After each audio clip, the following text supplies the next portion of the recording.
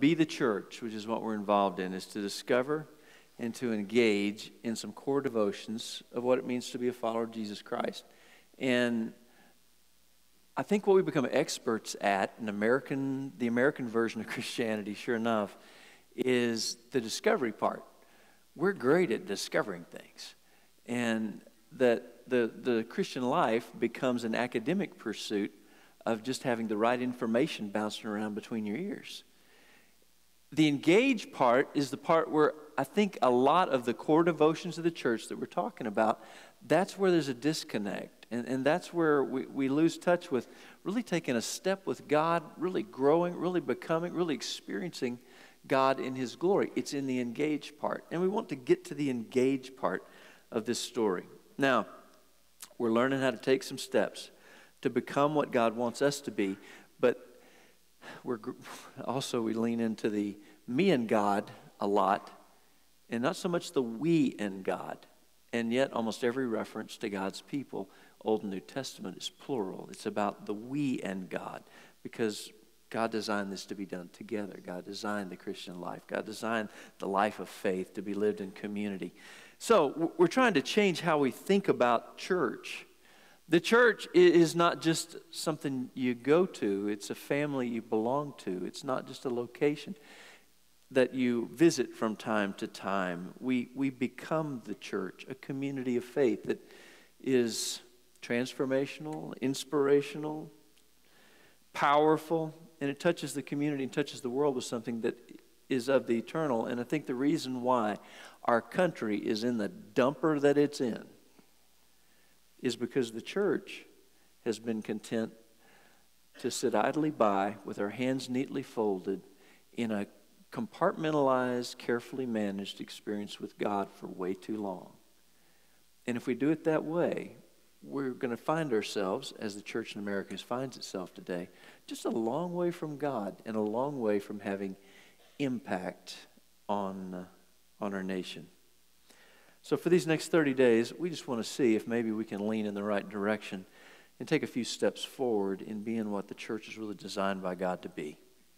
Now, these five core devotions of the church, what we're focusing on, and last week we talked about community and we talked about the importance of being a part of a genuine community of faith, a group of believers where you're going through life together in, in some tangible ways where you're experiencing love and encouragement and support. But we said that some people will walk into a class and they sit down and they cross their arms and they say, Okay, what do you have for me today? And well, again, you can know you're supposed to do it, but to engage means you, you can't just be on the consumer end of this, but you become a contributor to the effort you need to invest and engage with other people. And you're not just looking for the love and encouragement and support that others can give you, but you're being a person of love, encouragement, and support to others. So our weekly challenge last week is to commit to joining an intentional, in our, in our context, a Bible fellowship group where you can know and be known, serve and be served, love and be loved. And I pray that we'll just step beyond where we've been in relationship to one another, that a class won't just be studying again. I had no idea Israel was only that many miles long. I thought it was a lot bigger than that. Boy, what a great spiritual day this was in the Lord's house on the Lord's day. And a whole lot of what we do that we call Bible study, we're going deep in the Bible. I've never met anybody who said that that actually was doing something with what they were deepening about, ever. It's always, we're, we really get into the Bible. Now, we don't ever get out of the Bible. We don't ever actually go and talk to somebody about Christ. We don't actually live a more holy life. We're just satisfied with, with learning a lot of Bible trivia.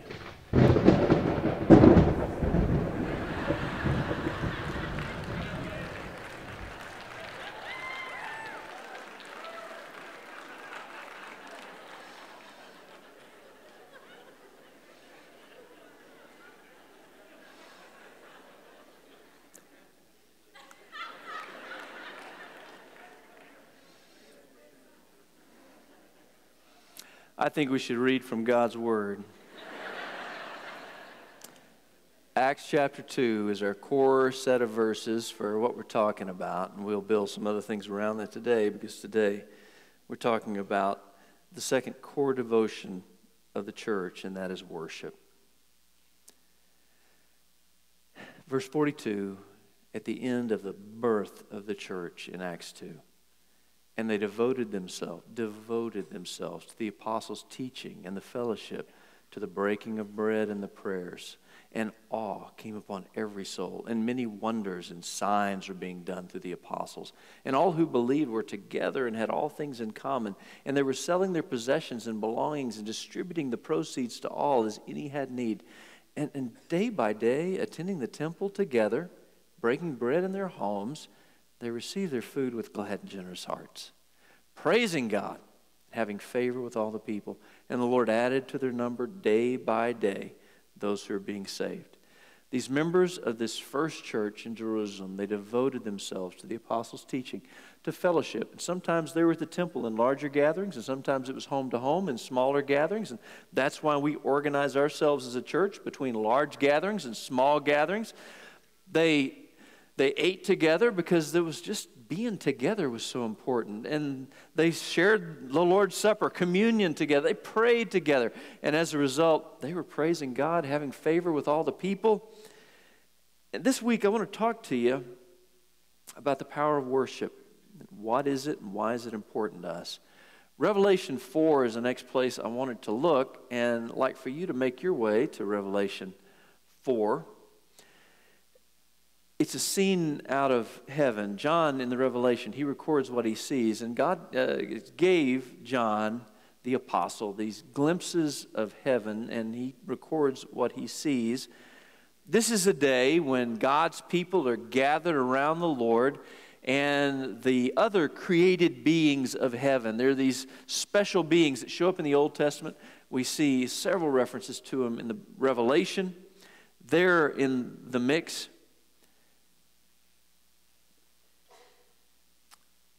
A lot of you have had your brushes with greatness where you, you, you go to a restaurant and, oh my goodness, there's somebody from the Dallas Cowboys sitting at the next table. Or there's, there's some famous actor, some famous athlete, some hero of yours that you say, look, oh my goodness, we're, on the, we're in the same place at the same time. We're, uh, here they are at Kroger. And I wonder what they're going to buy. And you have those brushes with greatness, and, and you, people get excited about it all the time. There's celebrity sightings. Well, what if what if you're in heaven with God, the Lord, the creator of everything? What is that feeling like? And, and, and how does that compare to the other? Well, I think the others uh, grow strangely dim in the light of His glory and grace. So we're going to read what happens when the people of God and these heavenly creatures gather before the Lord. Verse 9 of Revelation 4 says, And whenever the living creatures give glory and honor and thanks to him who is seated on the throne, who lives forever and ever, the 24 elders fall down before him who's seated on the throne and worship him who lives forever and ever. And they cast their crowns before the throne, saying, Worthy are you, our Lord and God, to receive glory and honor and power. For you created all things, and by your will they existed and were created. They're praising God because He created all things, and He keeps all things going. And how do you feel about that? How would you feel to be in that setting? And most of us say, well, I think, I think if I was there, man, it'd be just like being at church. They the 24 elders falling down and these heavenly creatures singing their praise to God and and the crowns being cast at the throne because nothing else is more important. And, and man I'd be worshiping just like at home. I like that. That was good. That was a good one. Not so. I think everybody goes goes goes to the floor on this one.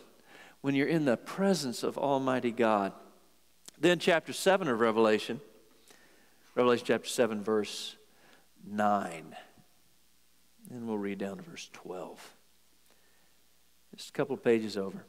He says, After this I looked, and behold, a great multitude that no one could number, from every nation, from all the tribes and peoples and languages, standing before the throne and before the Lamb, clothed in white robes, with palm branches in their hands, and crying out with a loud voice, Salvation belongs to our God, who sits on the throne, and to the Lamb. And all the angels were standing around the throne, and around the elders and the four living creatures, and they fell on their faces before the throne and worshiped God, saying, Amen. Blessing and glory and wisdom and thanksgiving and honor and power and might be to our God forever and ever. Amen. People from everywhere, every tribe, every language, praising God because He saved them. The angels chime in. Apart from God, apart, apart from anything God has done, they're not, they're not overwhelmed just by what He has done. They're overwhelmed by who He is. If He never did anything else for you in your life from this day forward except for what He did for you at the cross, you could never, you'd spend all of it, we will spend all of eternity thanking Him and praising Him for who He is as wise, powerful, strong, eternal. Here's, here's the thing from these passages we see in Revelation the truth about every human being and every other creature of heaven. We are wired for worship. And that's the first thing I wanted to focus in. We're wired for worship. Worship is important because we were made by God to give, to give glory to God, our Creator. So this is, this is my iPhone. I use this every day, all day has my calendar. It had, I, I, I text with it, I email with it. It helps me find my way when I have misplaced my way, it, that GPS. In fact, I even use my phone to call people. I know it's not many people do anymore, but I actually still use my phone as a phone. And this little device, it it reflects well on the people who made it, those folks at Apple, and uh, that's what a great what a great creation uh, should do. It it reflects well on its maker, and that's what worship is. Worship is reflecting well, giving glory to the one who made us, and, and to to function in a way that points back to the, the wonders of our maker. And sometimes, on a regular basis, the Bible says we're to gather together with others to do that, to acknowledge our Maker, to acknowledge our Savior, to acknowledge the God who, who made it all and who holds it all together. And that's what worship is. The Bible's opening chapter, God saw all that He had made, and it was very good, and very good things give glory to the one who made them. And they just can't help it this phone of mine is wired for communication, and, and we are wired to worship God. But the God who made us says, I, I want more in your worship than, than just giving me glory by doing whatever it is that you do. And we'll talk some more about that side of worship in a moment. But he says, Give me glory by and he says it Old Testament and he says it New Testament by getting together every seven days with, with other members of my family to do this together because there's a different dynamic and there's a different power. There's a, a, a different magnification of God when we do it together. If you turn uh, just a few pages over to the left, how about that? To the book of Hebrews, there's a verse there that and, and it, it just reflects dozens of other verses with the same message. But it's a problematic verse. It is like one of many that is, we justify it and we rationalize it and we make excuses for it and we determine it's not really that big of a deal and we minimize what it says. But this is a verse that starts competing with your busy weekend. This is the verse that competes with all those other things that get between you and, and what God says. So, this is a big deal. Now, I know I'll go ahead and read the verse. It says, And let us consider how to stir up one another to love and good works, not neglecting to meet together, as some as is the habit of some, but encouraging one another, and all the more as you see the day drawing near. And we say, well, you know, but Jesus, he said, uh, Sabbath was made for man, not man for the Sabbath. And that shouldn't, we, we can't be all legalistic about stuff all the time. And we, we gravitate toward being legalistic. And, you know, Jesus said, What happens if, if your sheep falls into a pit? Don't you go and rescue the sheep from the pit? Well, see, we're not rescuing sheep from pits, we're throwing sheep into pits. We've taken this thing about God's day and we're just creating things that we've got to do on Sunday that's going to take us away from the corporate work. We are throwing sheep into pits that we would not have to do what God says to do. And this is another reason why American Christianity is just really an anemic version of it in the world, and why it's a lot more dynamic in other places. He says, and all the more as you see the day drawing near, the day is the day of Christ's return. And with every passing day, that day gets closer when we'll all stand before God and give an account for our lives. And we'll answer for the things we have done and the things we have not done. And the Bible says it is good for us to meet together so that we can spur one another on toward love and good deeds. And that's one of the things that we do here. We're, we're not good at spurring ourselves, and sometimes we need somebody else just to nudge us along. And we do that for one another, and we do that when we gather together and we share God's word, whether it is in your Bible fellowship group or in here. We spur one another on that wherever we are, that's not where God intends for us to park for the rest of our lives. The Bible says meeting together ought to be a habit, so we ought to do it every week.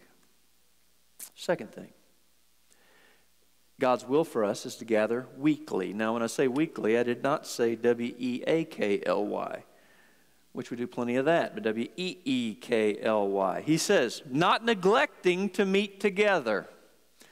Let us, would you say that with me? Not neglecting to meet together. Not neglecting to meet together we need to keep working on reading things together, don't we? That, that little uh, word that's translated meeting together is uh, episynagogein. Episynagogein.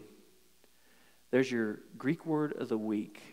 You can work that into conversation at work or school tomorrow. Episynagogein. Uh, epi means very expensive. You got to read a newspaper, people. Epi means in or upon. Now, I want you to listen carefully to the second. Epi synagogue.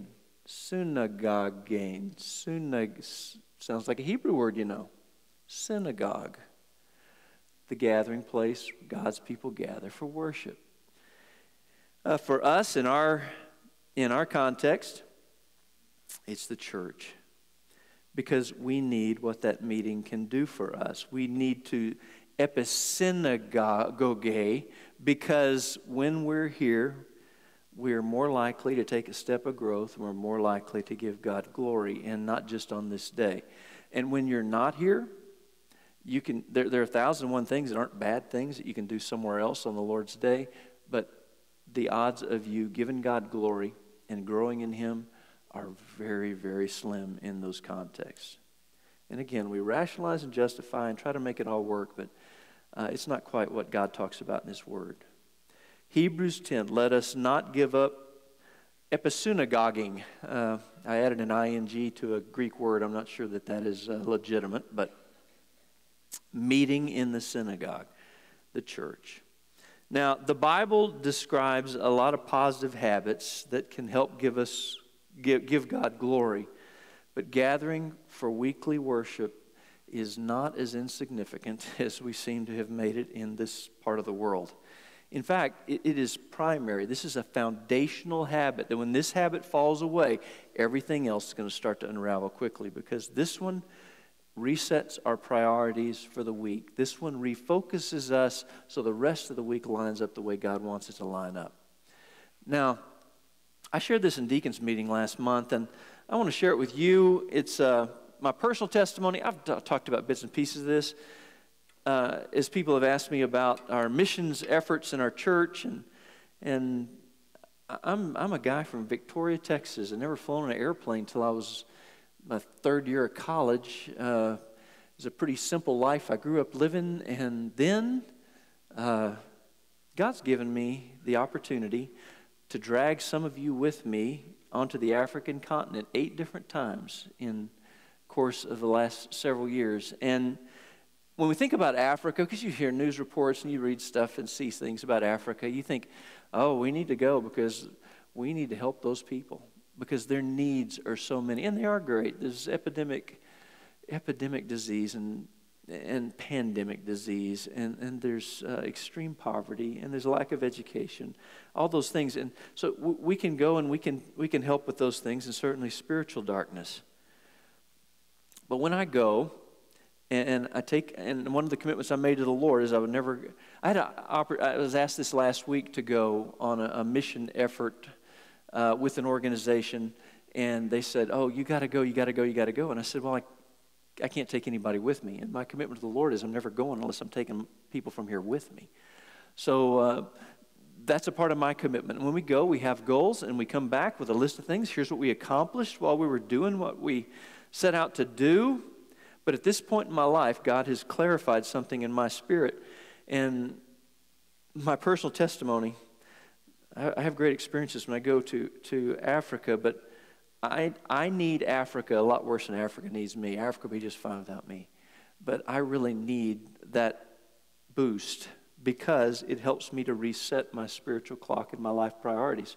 Partly because it drops me into a third world environment like the first century church, and it clarifies some things that it gets so blurry in American Christianity. I, I need to see a cleaner version of it than that. And that's, that's the big reason I, I'm drawn to, to go. We are bombarded in our culture by messages from multiple sources and from all sorts of media about what's important and what's not important, and what's right and what's wrong, and what's good and what's bad. And our priorities start getting scrambled. And for me, these are the things that, as I was reflecting on why when I came back from Tanzania this year, I'm impacted by the simplicity of it all. That stuff is not important in that culture. Man, we're so overwhelmed by stuff here. Life slows down, and people's joy doesn't come from what they have or where they go. It, it comes from relationships. And the believers I'm working with, relationship to God and relationship to other people. I'm always impacted by the community side of this. And we talked about community last Sunday. When I'm in that third world environment, the, the, the people do everything together. Like they farm together, they cook their meals together, they, they do they wash clothes together, they do everything together. And here's why because they know I can't survive here by myself. I, it, it's all going to go south on me if if I don't have people around me, people that are in my life and a part of my life, and we need each other, and they know they need each other. Because there's no safety net, there's no big insurance process, and there's no big government bailout for anything. They need each other. And I'm impacted by the spiritual side of things. The faith permeates life for them, and my faith gets so complicated. American Christianity faith gets really complicated because we add all these layers to it, and it becomes a big academic academic thing, and it becomes complicated instead of the simple gospel of Jesus Christ. And and that's why I, I need to see that side of it on a regular basis. I've found that I, I was I told the deacons I was walking with a, a pastor. We were in a really rural area, and there's this bird just going nuts in a tree, singing, singing, singing, singing, singing. And I said, My brother, that is one happy bird. And he said, The birds awaken to sing praises to God this day. And, you know, it's a real simple something that I think, well, I remember saying things like that to my kids when they were growing up, but I need to, I need to simplify my view of the faith. I need to feel every moment of the movement of God because those are the kinds of things that are read in the Psalms. That's how, that's how they express their faith, that God was a part of everything, not just siloed away over here or over here, but He was a part of day to day life. And I need an infusion of that for me personally to pull me back, to get me centered, to grow me where I need growing. So going there, it resets priorities for me in several areas. It Jeff let us sing it earlier. It tunes my heart to sing his praise. I need my heart retuned on a regular basis. And going, you don't have to go to Africa to get this done because when we gather together at church, this is what we're supposed to be doing here. Is to tune our hearts to sing his praise, to, to get things focused in the right direction again, to get, to get life reoriented for the week that is just ahead of us. So that, and for some people like me, I just need a, I need a really hard hit of it once a year, and I need a regular booster shot every Sunday to get things back to where they're supposed to be. And, and I think, I think maybe in our, in our Americanized view of Christianity, that it shows up in our prayer requests and a lot of other stuff that don't we spend most of our time praying that our life would be easier? That everything would be problem free? That we'd never have any difficulties? And that, like, that's what it looks like to have a good relationship to God? But that's not what it looks like anywhere in the Bible. It's not what it looked like for the first century church. Um, and it's not what it looks like in the places where revival is white hot in the world today. And I don't know, I started praying a while back for myself. God, don't let me be so comfortable in, in this rich young ruler environment I live in in North Texas. Remember the story of the rich young ruler? He just had everything he needed, and he didn't need God because of it. And for a lot of people, even who have made a commitment to Christ, it's just way too easy. And it's so easy that we can manage it with or without God on any given day. And there's nothing that causes us to be driven by desperation to really trust in God. So I started praying for myself God, don't let me forget that. And God, and certainly God brought some things into my life that have challenged me and caused me to have to pray differently and to lean into Him in different ways over uh, this time period I've been offering up that kind of prayer. God, don't, don't, make me, don't make my life easy make my life holy, and, and what, whatever that looks like. And I found myself uh, trusting the Lord. Maybe what we need to pray for one another. Why don't you take this to your Bible fellowship group? This will really surprise the people who didn't come to worship today. When you go to your class in a moment and you, you say, Let's pray. Dear God, I pray that, that you would take us to our knees by bringing things into our life that remind us we cannot do this without you. Amen. There'd be a lot of people that, what did he just say? Maybe we're praying for the wrong things in the wrong way, and that's why we've ended up where we are as a nation. All these inputs from media bombardment that we experience just cause us to view the to view God and the world and the people around us with a really distorted lens. And so, where does that get corrected? Where do you get reminded? Where, where else do you get reminded you are not necessarily the center of the universe? And where else do you, do you get reminded that the one with the most toys doesn't necessarily win at the end of the game? And that things that you buy and try and taste and wear aren't the things that are going to make you happy over the long term? The answer to those questions is you find that at the church. It's the only place that's going to tell you that stuff where true truth is going to be taught from God's word. In church, you hear this message that reminds us that the world, the world doesn't revolve around you. And it's a hard pill to swallow. A lot of people say, when the story stops being about me, I stop being interested in the story. And that says more about a relationship to God than just about any other measure in the church, the songs, the message, the people you spend time with, the Lord's house, remind you that despite all that you've seen this week and the way you've seen people treated this week, people matter to God. And they ought to be treated in, as people precious to God, created in His image with dignity and respect. and whether they are like you or they're different from you in the image of God. At church, you're reminded that you're significant when the rest of the world tells you you're not, that you're treasured, that God has plans for your life. It's a church that reminds you God has a purpose for every person in this world. It reminds us that He wants you to contribute to, to the effort. It reminds you that character matters.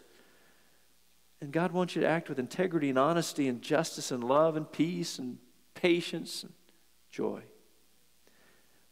One of the most important decisions you make every week is a decision you're going to be in the Lord's house on the Lord's day because at the church, you get the interior of your soul reset, not just for a day, but for the week that's ahead, and your priorities get repositioned. Uh, and, and your sense of what's true is retuned to what's really right and what's really true, excellent, worthwhile in your life. So the challenge this week is to commit to I'm not going to find everything else to fill this in. And if I don't have any other options, then I'll be a part of gathering with God's people. Uh, I want to challenge you to just be a part of this, to explore it, to see if it could be true. And this again works like community. When we worship, it can't be, okay, what do you have for me today? Did you sing songs I like? Did you not sing songs I like? Did uh, Chad's hair today? Not really what I was looking for. He needs to change that. Is we, we, we start we start sitting like we're at a movie evaluating all of it instead of listening for God and bringing something to the game. Worship is what are you bringing to the game? What did you bring to the game today? Or did you sit back as a casual observer? Surprise me, amaze me, uh, overwhelm me, don't disappoint me. We've missed the purpose of gathering. Third thing, worship is a verb. And we have a, we have a video we want to show you, testimony, one of our folks.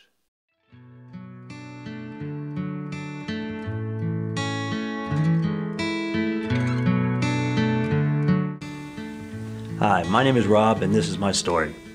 For 30 plus years, I was paddling upstream with one oar, doing what I wanted to do, making decisions that I wanted to make. But all that got me was an eye full of brokenness, an eye full of emptiness, an eye full of depression, and an eye full of sorrow. I experienced many dark times throughout my 30s with the family and extended family. Roller coaster rides of financial instability, high financial debt, I went through a very difficult divorce. It was obviously hard on everyone, including the children. My ex-wife had moved away for two years off and on, and the children were unable to see her for six months to a year at a time. I didn't want this or plan this, but God had an ultimate goal to bring myself and others closer to Him. Proverbs 19:21 says, "Many are the plans of a man's heart, but it's ultimately the Lord's that will prevail." But looking back, instead of thinking, where was God during all this? He was right there next to me. I envisioned the whole time our Lord was just saying with his arms crossed, What in tarnation is that boy doing? He's flailing around, drowning in the sea of self, and I've had my arm extended to him this entire time. All he has to do is just reach out and grab my arm and let me lead the way. Just like Psalm 119 says, the word is a lamp to my feet and a light to my path. It is the Lord, the church, and Chick fil A that got me through all those difficult times. I am fortunate enough to work in a positive environment. I am surrounded by people who love the Lord. Our corporate purpose is to glorify the Lord by being a faithful steward to all that's entrusted to us and to have a positive influence upon all those that come in contact. One of my favorite verses is Colossians 3:23, which says, "Whatever you do, work heartily as for the Lord and not for men, knowing that from the Lord you will receive the inheritance as your reward. You are serving the Lord Christ. Whatever you do, do it for him, no matter what it is, whether you're an executive, a nurse, a teacher, a garbage picker upper, uh, whatever you do, you're doing it for Him. Some may know me as the bald headed bow tie Chick fil A guy, but I really want to be known as the bald headed bow tie Christian guy who serves the Lord with all of his heart, soul, mind, and strength. Man, think about it. We get to serve the living Lord, the Lord of all creation. Worship isn't just something we do on Sundays, it's something that we do every day, all day, every day. As Pastor Jack Graham of Prestonwood Baptist Church so passionately said, Give cheerfully, serve humbly, and worship Him gladly. We have nothing to offer God except what He has already given us a holy life. Thank Him every day for the wonderful blessings of being able to live for all His glory.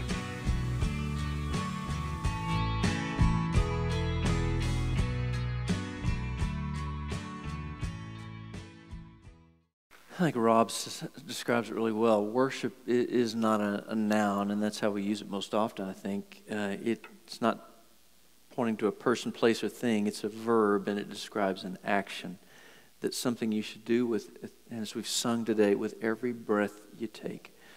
Uh, along with that, I also want to challenge you this week. Romans 12:1, offer your bodies as living sacrifice, but I love it in the message. Here's how they say it, and it's a great way to describe it. So here's what I want you to do God helping you.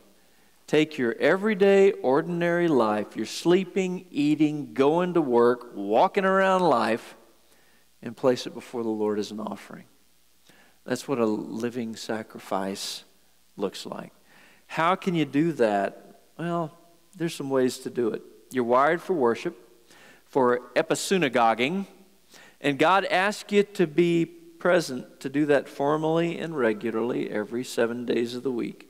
It shows partly just whose side you're on. It identifies you. It's a part of your testimony in your community, on your street, in your neighborhood. Back in Paul's day, the Jews would worship God. They'd bring a, a lamb, they'd bring a bull, and they'd put it on an altar, cut its throat, and they would say, This is our offering to God. And this difference, instead of a dead sacrifice, it is a living sacrifice, as Paul describes it in Romans 12, that we are walking around sacrifices offered up to God all day long. So my iPhone gives Apple glory by doing what it does well. You give God glory by doing everything that you do in ways that bring glory to God, that point back to God. Uh, Friday. Friday's my usual day off from the office. And Friday, I was locked down because I had two different uh, folks come into the house to work on things that could be there sometime between 8 and 12. Uh, the second one came at 10 till 12. So I appreciated that very much. Um, so I had, I had time at the house, and I did several things around the house, and, and because Rhonda's teaching school, are there things I do on my day off that so I want to please her, and so I one of the things that pleases her is uh, the dishes being washed, and so I. It's not one of my all the time jobs, but it's a regular job for me, and I wash dishes and I got them all cleaned up. And you know what? Not as a begrudging thing because I know it. I know it blesses Rhonda, but worship is something you do with everything that you're doing. And so I want to please God if I'm washing dishes. And so I was washing dishes. I'm standing there at the sink, and I'm looking out the window uh, toward the toward our street, and I just thank God, God, that you gave me you gave me hands to be able to wash dishes, and I thank you that I have a sink to soak these dishes in, and I thank you that I have a towel to dry these dishes with, because everything that I do connects with my relationship to God, because my life can't be segmented and Think about this for you. Tomorrow morning when you get up, you say, I'm going to give glory to God and I'm going to thank Him for breath for another day and opportunities for whatever is before me. When you're driving to work, see, I knew, you knew it was going to get personal eventually. You're driving to work and that person cuts you off traffic. Is this going to be an opportunity to give glory to God and to worship Him? Or is this a chance for you to undo all Christian testimony? And again, please take those Christian bumper stickers off of your vehicle if you are not able to do this. Because I don't need you making things worse for me and for God's work in the world. But can you give God glory? Can you honor Him in how you, you drive and how you treat other drivers? Uh, at work, you give God glory by working hard, by giving it your best, not just mailing it in, slacking off. Man, I hate to hear stories about Christians that they're the worst employee at their place of business. You ought to be the best.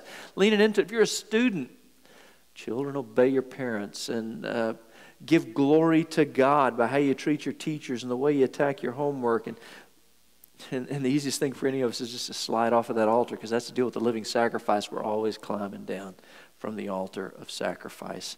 But do your best. If it's an extracurricular activity, sports, your, your intensity and your teachability ought to reflect that you belong to God and you're, you're offering up your best in whatever you do. Rob shared this verse, Colossians 3 work willingly at whatever you do as though you were working for the Lord rather than people. That's worship. Parents investing in your children and not just creating more stuff for them to do, but investing in the spiritual, the eternal side of your kids. A marriage that reflects what Christ wants a marriage to reflect and honors Him. Developing character that reflects Christ. Serving God by serving and loving one another. Those are all acts of worship. Listen again to that uh, Romans 12:1 from the message paraphrase. Take your everyday, ordinary life, you're sleeping, eating, going, or going to work, walking around life, and place it before, the, before God as an offering, an act of worship. And that's how you worship. And so let's worship. Because we were made to do this. And we're made to do this because of who God is and because of what God's done. And both sides of that and any piece of it is plenty of reason to say, I'm going to do this by doing what He said about gathering with God's people. And I'm going to do this by living a life that's going to please Him in everything I do. Now, I hope that you're keeping up with your readings. This is not a big, burdensome reading assignment, but those daily devotionals, they have a lot in them. And it, you need to read one every day, and you need to do what it says to do. There's an activity every day. And you can say, oh, yeah, I read that because, you know, we like to keep it as just a mental activity instead of an action. Well, you haven't done anything until you've done something with what you've, you haven't learned anything until you've done something with it. So get involved, reading those daily devotionals. Uh, be a part of our worship hours where we're going to talk about these things. You're going to read about it all week. We'll talk about it on Sunday in the worship hour in your Bible fellowship groups. And then, and by the way, we're talking about we're talking about the discipleship side of this, the spiritual growth side of this this next week. And our staff, again, we're doing this ahead of the rest of the church. And man, this is a good week. These devotionals are fantastic this week. You don't want to miss this.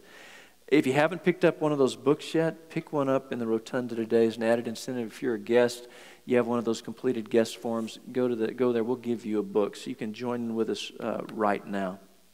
If you're a member, you should already got one anyway. If you haven't yet, stop by that desk and they'll fix you up.